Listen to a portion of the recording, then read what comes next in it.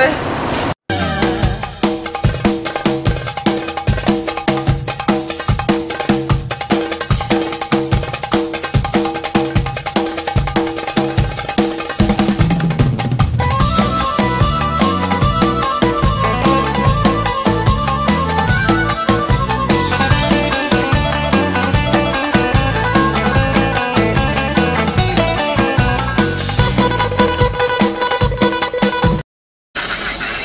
היי בנות, אה, קיבלתי כמה בקשות אה, ולכן גם הכנתי אה, שני סרטונים בערוץ לגבי ציפורניים שהם אה, שפיץ יותר. אני לא יודעת אם שני הסרטונים עלו לערוץ, אחד אני יודעת שהוא עלה ונורית חזרה למילוי ומה שאני הולכת להראות לכם, למרות שיש לה ציפורני שפיץ, איך אני עושה את זה יותר מחודד ויותר שפיץ ויותר סטליטו. מישהי כתבה לי אה, בהודעה פרטית בפייסבוק וגם ביוטיוב בתגובות איך אני עושה אותה ממש שפיץ, כאילו זה לא מספיק. אז אמרתי אוקיי, חיכיתי שנורית תחזור למילוי ואז באמת אני אוכל אה, להראות לכם. אז אני משייפת לה את כל הציפורניים, אני אעשה לה את המילוי ואני אחזור אליכם עם השיופים להראות לכם איך אני מחדדת את זה יותר ממה שזה. טוב, אז אני מתחילה בעצם איך אני הולכת להגיע לציפורן שהיא יותר מחודדת וזה כמובן עוד בלי פצירה. אז קודם כל אני משייפת באזור השיא, כמו שאתן יודעות, ומניחה את האקריל. עכשיו, השיוף שלי אם אתן לא רוצות ממש לחדד, אז אנחנו עושות בדרך כלל ככה, וגם כן קצת ככה. נכון? ואז עם פצירה, ואתן מחדדות את זה ללקוחה. אבל אני רוצה יותר חד, יותר שפיץ, סיכה, ממש. אז מה שאני עושה זה ככה, קודם כל אני באמת מתחילה ככה, ואז תסתכלו, הראש קרחת אני מתחילה אותו פה, מפה. מפה אני מתחילה לחדד ולא מכאן. אלא מכאן. וכמובן אל תשכחו זרת ותמיכה חזקה בציפורן של הלקוחה. ואני מתחילה, בגלל שאני מחזיקה אותה פה מאוד חזק, גם הראש לא יקפוץ לי. אני יודעת שאני חוזרת על עצמי הרבה מאוד בסרטונים, מכיוון שאני מקבלת הרבה מאוד שאלות למה הראש שיוף קופץ. אז אני חוזרת לשפיץ שלנו. אתן רואות, אני מחדדת את זה מכאן ולא מכאן. ואני הולכת לפה, ואני מחדדת, תסתכלו, כבר הצורה שלה נהייתה יותר חדה, והציפורן הפכה ליותר רזה. אני שומרת פה על הרוחב, כי אם אני אתחיל לקצר אותה מכאן יותר מדי, זה גם עלול להתפתח לה וגם להישבר. אז אני לא מחדדת מכאן, אני מחדדת יותר מכאן. עכשיו, כמובן שזו בנייה בטיפסים ובאקריל, זה כבר לא בנייה, זה מילואים, אבל בתבנית זה שונה, בתבנית זה אחרת, באמת אני מתחילה משם. אבל כשאני הולכת לשנות צורה למישהי שיש לה מילוי, או כשאני בונה לה בטיפסים, החידוד שלי נעשה מהאמצע. תסתכלו איך הצורה שלה משתנה. תראו, אני הולכת רק בקצה, רק מפה. תראו את ההבדל, כמה שחשבנו בהתחלה שזה שפיץ יותר, תראו איך חידדתי לה את זה ממש לסיכה. כמובן שאני הולכת לעצב את זה יותר עם הפצירה.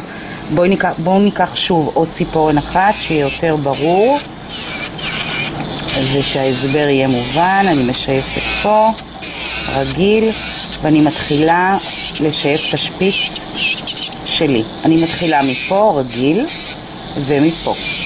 ועכשיו אני הולכת לעיצוב. מכאן, שהראש שיוף מגיע כמעט עד החצי. מכאן אני מתחילה לגנוב בצורה כזאת לכאן. ואני הולכת לצד השני.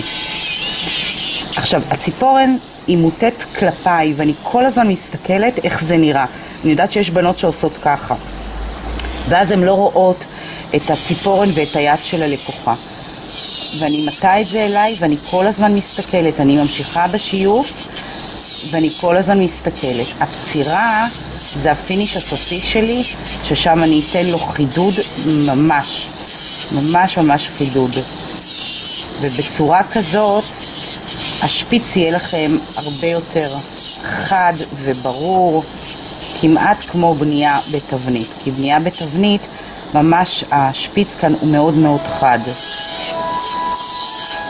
אז אני משייפת בצורה כזאת, כמו שאתם רואות, אני כבר אני כבר במריחה של הלק, אני סוגרת קצה חופשי, אבל אתן יכולות לראות את החידוד, ש... נורידי, תורידי, זהו. אתן יכולות לראות את החידוד של השפיץ ברגע ששייפתי אותו, אה, כמעט חצי מהקצה החופשי, אם אתן מבינות למה אני מתכוונת. ואז אני באמת מקבלת שפיץ שהוא יותר מחודד, מי שאוהבת, לקוחה שאוהבת, ממש ממש שפיץ.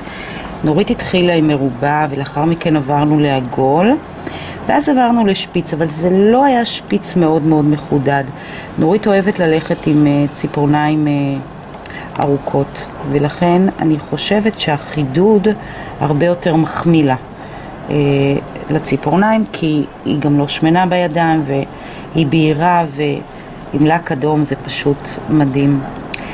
דבר מאוד חשוב שצריך לשים לב באמת, להתאים ללקוחה את הציפורניים. זאת אומרת, יכולה לבוא אליכם לקוחה שתגיד שהיא רוצה ציפורני שפיץ, אבל זה לא מתאים לה. אצבעות שלה קצרות, קצת שמנמנות, זה לא מתאים לה. אה, גם שפיץ צריך אורך מסוים שהוא יהיה יפה. אה, אני אישית אה, לא אוהבת שפיץ על ציפורן קצרה, לפחות את האורך הזה שיש לנורית. אז הנה אפשר לראות איך זה נראה ואני תכף גם אשים לה top coat ואני אחזור אליכם אה, שוב על מנת אה, להראות לכם את ה finish של העבודה גם אחרי ארבע שכבות של לק ג'ל עדיין השפיץ נשאר שפיץ והוא לא מתעבה בקצה. הרבה מאוד פעמים כשמורחים פה, אם זה אקריל, אם זה ג'ל, אם זה לק ג'ל, שזה ארבע שכבות, זה טיפה מעגלת, זה טיפה מה, מהחומר. אבל עדיין אני מצליחה לשמור על השפיץ כי הוא מאוד מאוד מאוד מחודד. לא יכולתי לצלם לכם אה, לפני אה, שמרחתי את ה basic, כי ענת, אה, אתם יודעות שהיא מצלמת, והייתה כאן עסוקה עם אה, לקוחה. אבל אפשר להבין גם מכל הסרטון, באמת, כי מה שהיה חשוב לי להראות לכם, איך אני אה, מביאה אותו לשפיץ כשאני משייפת מכאן ולא מכאן. אבל זה מדובר באמת על שפיץ מאוד מאוד חזק. אז זהו, אז אני אמשיך למרוח לה שהסרטון לא יהיה מאוד מאוד ארוך, ואני אחזור אליכם אה, ב finish, כשאני שמה לה לקוחה שמן, ואני מסיימת את העבודה.